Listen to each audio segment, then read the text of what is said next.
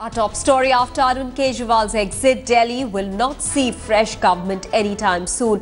The cabinet has put its seal of approval on the lieutenant governor's recommendation for president's rule in the capital. Crucially, the door will remain open for a new government as the assembly will remain in suspended animation. Delhi is headed for a spell of central rule.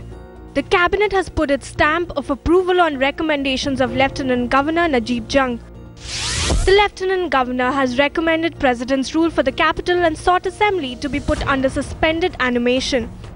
The cabinet nod, however, keeps the door open for the government formation as the Assembly will not be dissolved. Arvind Kejriwal, in his resignation letter, had sought dissolution of Delhi Assembly. Kejriwal was quick to slam Lieutenant Governor's recommendation, terming it as something that will encourage horse trading.